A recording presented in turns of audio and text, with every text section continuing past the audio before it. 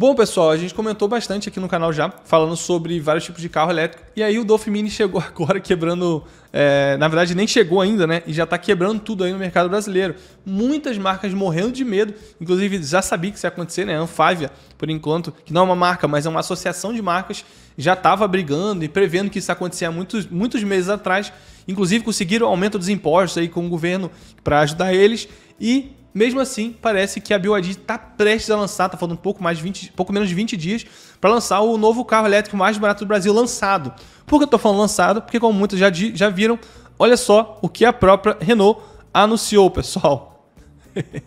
Deixa eu colocar até em tela cheia aqui. Olha aí, vocês acabaram de ver. Isso é o site da Renault, tá, pessoal? Ofertas Renault, que é o site da Renault para venda, tá? E olha, olha aí. Sim, temos finalmente o primeiro carro elétrico do Brasil oficialmente direto pelo site da marca, pela tabela FIP, ainda não nem entrou na FIP, mas podemos dizer, por R$ 99.900. Sim, o primeiro carro elétrico no Brasil, um momento histórico, abaixo de 100 mil reais. Cara, isso é sensacional, um momento histórico para todo mundo, todo mundo que gosta de carro elétrico e gosta de carro em geral, porque não se espantem, pessoal. Isso daqui, esses 99.990 reais que vocês estão vendo na sua tela, não vai afetar só os carros elétricos, e já vou comentar sobre isso, mas vai também afetar muito até os carros a combustão. Podem esperar aí marcas como a Volkswagen, com o Polo é, e várias outras marcas também, como, sei lá, a, a Fiat com o Argo e vários outros carros que concorrem nessa categoria, a própria Hyundai com a HB20, vão ter que se mexer, né? Porque agora temos um carro elétrico a mesmo preço dos carros entre aspas, populares aqui no Brasil já agora.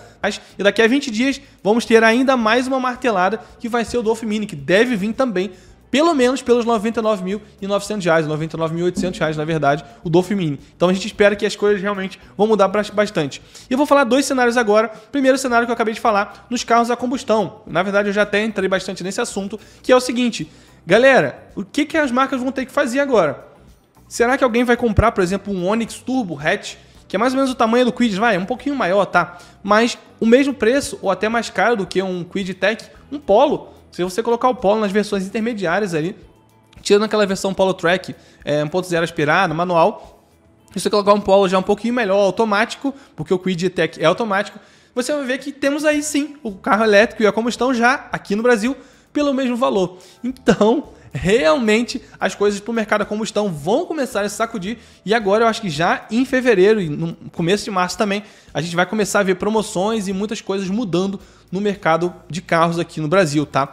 E além disso, extrapolando agora para o mercado de elétricos, que as coisas vão ficar ainda mais loucas. E dentro do mercado de elétricos, temos ainda duas coisas aí que devem fazer, é, devem acontecer e sacudir com isso que você está vendo na sua tela mais uma vez, que é uma coisa muito bonita de se ver, que é o primeiro carro elétrico abaixo de 100 mil reais aqui no Brasil. Que é o seguinte, vamos lá, carros elétricos usados eu acho que eles vão ter que despencar o preço, né? Infelizmente para quem comprou, mas é, os elétricos estão se desenvolvendo muito rápido, né? E acaba que para quem comprou no começo lá e que os carros estavam se desenvolvendo, acaba assim, infelizmente, perdendo o seu valor. E aí temos os principais carros que devem cair seu preço. Então vamos colocar assim, concorrente desse daqui, o próprio quem comprou o Quidtech, então a pessoa pagou 130, 140 mil reais, 150 mil reais, dependendo da época que ela pagou. E agora eu acho difícil alguém pagar no Quidtech muito mais do que 75 a 80 mil reais. Então a pessoa vai perder uma bela grana, só que é uma boa oportunidade para quem hoje quer comprar um carro elétrico semi-novo, e eu compraria sem grandes problemas, ainda mais que o Quidtech lançou há poucos, poucos anos aqui no Brasil. Todos ainda devem estar em garantia e excelente qualidade, excelente. É excelentes condições de uso. Então eu compraria um Quid Tech usado sem grandes problemas. E como eu disse, eu, agora você deve começar a achar em breve aqui no Brasil Quid Tech usado abaixo de 80 mil reais, 90 mil reais, acho que até abaixo de 90, vai depender do estado de conservação e tanto de quilômetros rodados, e as coisas vão começar a ficar bem legais. Né? Eu acho que vai realmente esse ano agora, de 2024, como eu falei nos vídeos do começo do ano, vai democratizar muito o carro elétrico. Cara, quebramos e quebramos com tudo a barreira dos 100 mil reais para os carros elétricos zero quilômetro. Cara, isso é muito empolgante, tá? E aí, além do Quidtech, quem comprou, por exemplo, o Jack é JS1, que já vimos aqui no LX semi-novo, abaixo de 100 mil reais. Agora com o Quidtech zero quilômetro, vai ter que pedir menos ainda pelo seu Jack JS1, porque o Quidtech é um carro que é bem capaz, bem próximo ao já que é JS1, tá? E ainda mais aquelas pessoas que têm preconceito contra chinês, vão ver aí o Quidtech nesse preço, tá? Então é uma coisa diferente. É... E também a Jaque. Agora, o preço principalmente dos carros zero quilômetro vai ser uma coisa louca, tá? Porque a Jaque vai ter que cair o seu preço pra caramba. A Jaque geralmente é a mais rápida a fazer isso. É até engraçado ver, porque a Renault, de todas as três marcas aí que era a BioAD lançou, né? Então tinha a Renault, que era o Quid Tech, tinha o Jaque com EJS1 e tinha a Caoa Sherry com o iCar, né? E eu lembro que quando lançou o Dolphin aqui no Brasil, todas elas caíram. E a Jack foi a primeira. Depois caiu a, a, a e por último a Renault. Dessa vez parece que a Renault não quis ter é, não quis ter muita, muita demora em fazer isso e já foi a primeira antes mesmo do carro lançar, já caiu, jogou lá embaixo o preço do seu Quid Tech, cara. Então realmente parece que as coisas estão é, de uma forma muito mais acelerada do que a gente achou que aconteceria aqui no Brasil.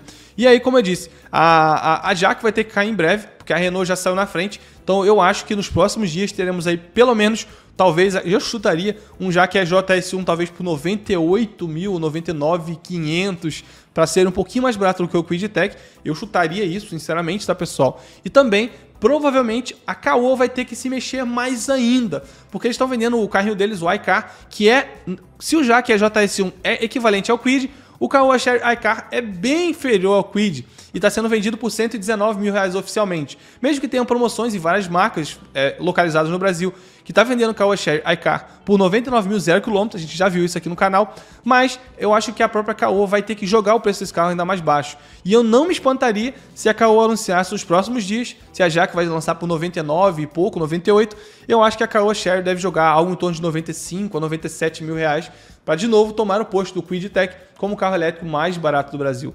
Eu sempre comento o quão isso é importante e, sinceramente, quanto isso é bizarro, né? Há pouco tempo atrás, há um ano atrás, esse carrinho aqui custava 150 mil reais zero quilômetro.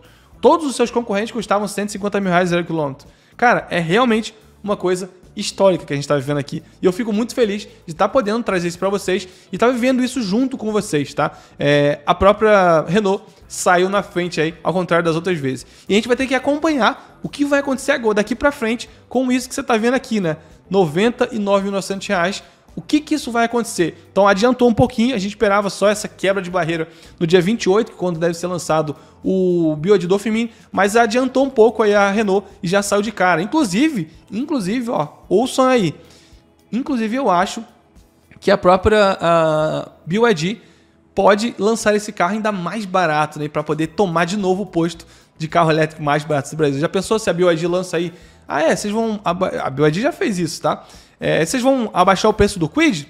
Show de bola. Vamos lançar o nosso a 89 mil reais.